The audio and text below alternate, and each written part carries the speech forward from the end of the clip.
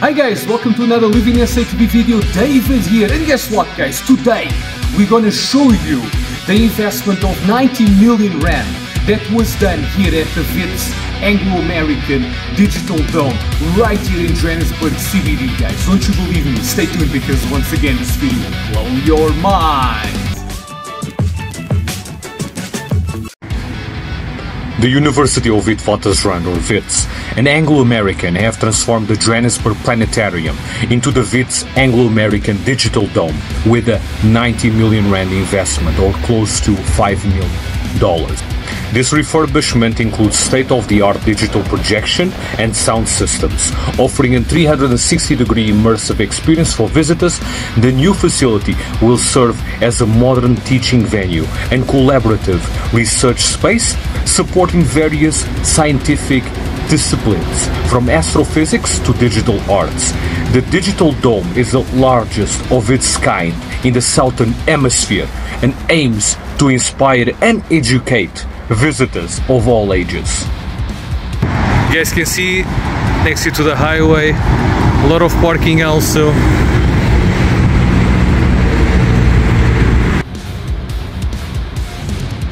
Good morning, I'm Dr. Momi Taj. I'm from the WITS Anglo-American Digital Dome, so I'm the head. Uh, so what do you see here, the building is still the same one from 1960s. Uh, so the planetarium first opened its door on 12th of October 1960. And um, yeah, so the main uh, building was this, and there has been a lot of extension on this side. This was uh, possible by the partnership between WITS University and Anglo American, the mining company. Uh, so you see, obviously, the building has changed a lot uh, on that side. So uh, we got our new offices, and there is a seminar room, and um, it's a little more uh, available space for having events and stuff.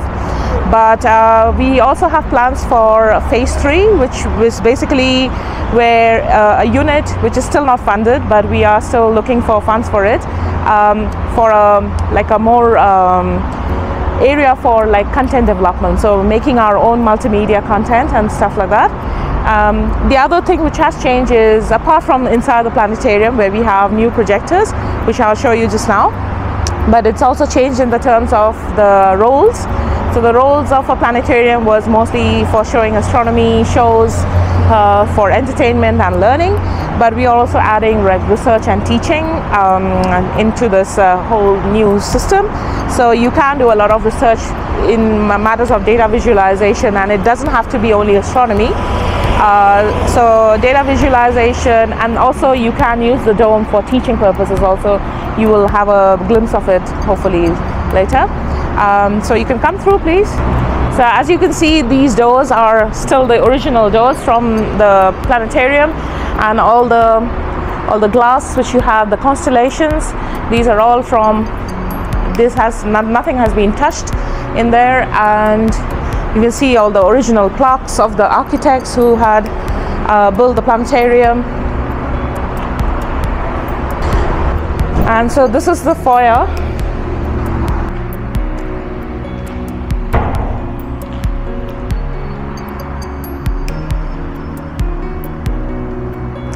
So this is the foyer area, which was again the original, and the structure ended there, and that's what the extension is now. We've kept all of these as it is. Like you can see the marble there. That's also from the old olden times, from 1960s, and uh, yeah, the doors are also the original doors. Uh, but what has changed is basically what is inside. So inside, when you go, you will see there's a lot of uh, changes in terms of seating and also the projection capabilities of the system. Um, so maybe we can go inside and have a look.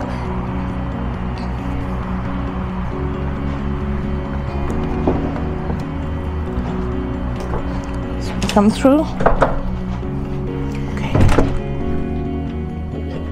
Okay, you can come through.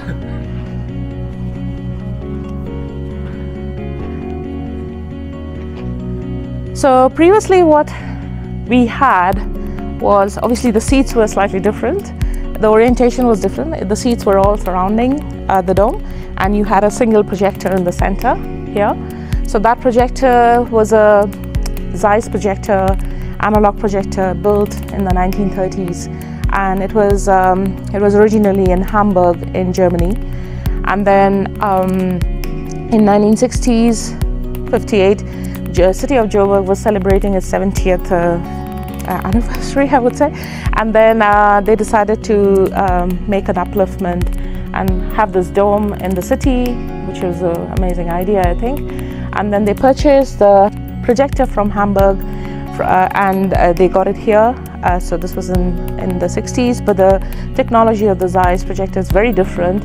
Um, and people who have seen it before, they still have fond memories of what the planetarium was before and um, yeah and I also come from a time when I when I was a child I used to go to a planetarium which was not so modern and uh, it still was an amazing experience but you can see how much the technology has changed. Um, we will show you something on the dome so that you can take some videos.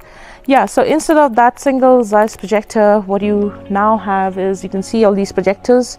So there's 10 of them so 10 of them surrounding the dome.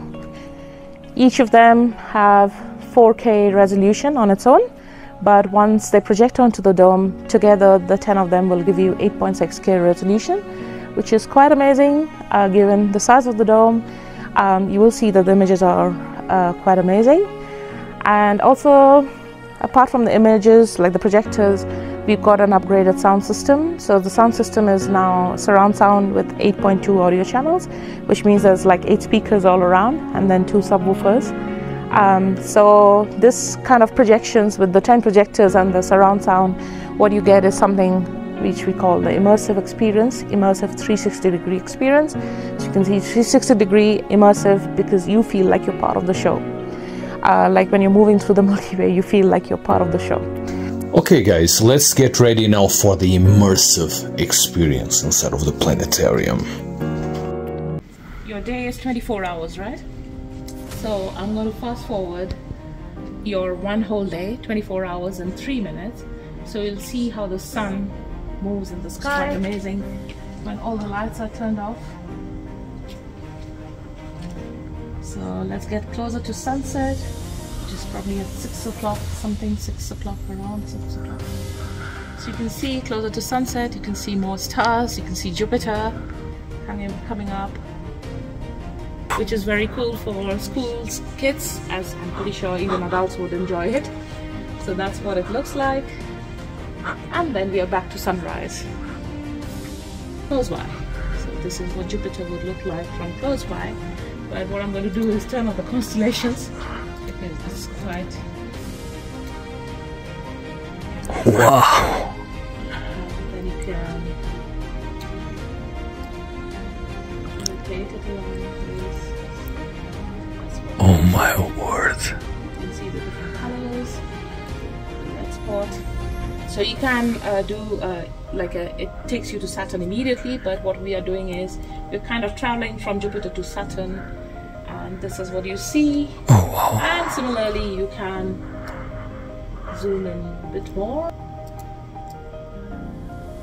Oh, zoom in further. And what you will see now is the oh oh wow. it's basically rocks. We just hit it by asteroids.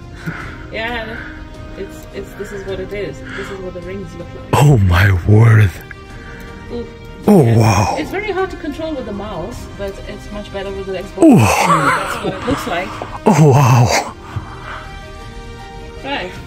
So you can um, zoom into Mars, and you can get a much more detailed view of detailed view of the surface on Mars.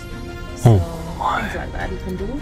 So the, these are all the astronomy um, things which you can do as part of a live show uh, for kids and obviously you can do it for adults also. So this is now, you're currently on Mars and then to Mars, then explore the planet and things like that. It's uh, quite far away. This is what it looked like. Uh, so Halley's Comet, the last time it was closest to the Sun was in 1986. That is uh, Capricorn. These are things which is very, I think, uh, kids will definitely enjoy quite a bit. Uh, so a nebula is basically something which is um, a, a, region in the region in the universe where new stars are born. So this is what it looks like. So this is the Eagle Nebula. Um, Wow. yeah. So this is what it looks like. And there are other nebulas uh, called, suppose, the Crab Nebula. So this is what the Crab Nebula would look looks like in the sky. So these are again regions where new stars are formed. Um, so this is what it looks like. Stationary satellites. Uh, you can see we are zooming away, zooming out, and you see that's the ring which you, which I said. That's the geostationary satellites. And let's move further away from the Earth, and you will be able to see. So that's basically the Earth and the Moon, and you can see all the other planets. So that's the planets, other planets. I have not kept the labels. So this is basically Jeez. your. Um, Milky Way. no, not yet actually. Uh, yeah, it's now out of the Milky Way.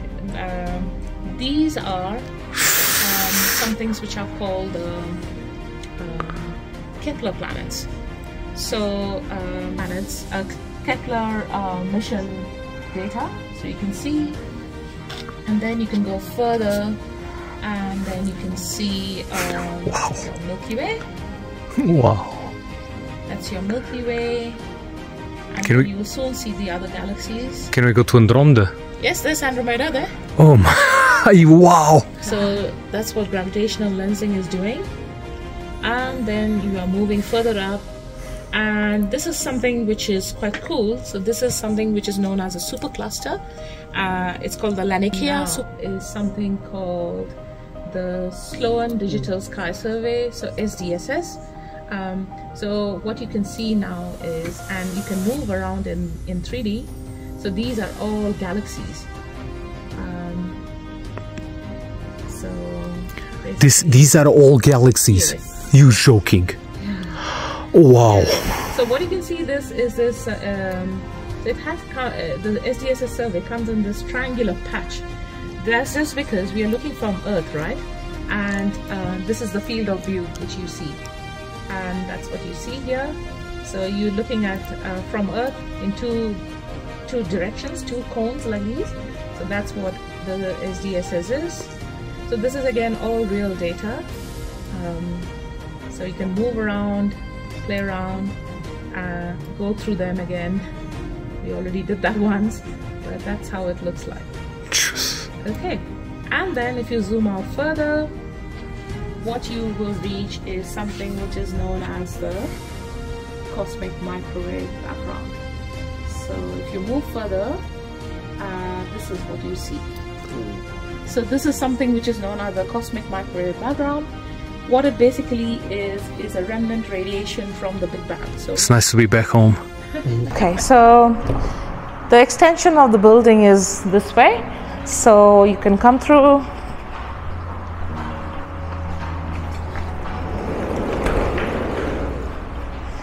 Yeah. So we've got our office space is here. Uh, currently is two of us. yeah. This is uh, Constant, who's uh, very busy. So they are from the YouTube channel, which I mentioned. Yeah. Okay. Um, okay, let's go and have a look and maybe. So we've just got a foyer area and uh, we have a seminar room, boardroom, which is mainly for our meetings. And if it's a small class, people can actually train their students here also. But if it's a bigger class, we can do that inside the dome also. Yeah, so that is mainly the space. There's an upstairs area which we usually use for events and stuff. Till now, whatever events we've had has been internal, but we are having external events like corporate functions and things like that. And um, yeah, so we're going to use this area more for that purpose. Yeah.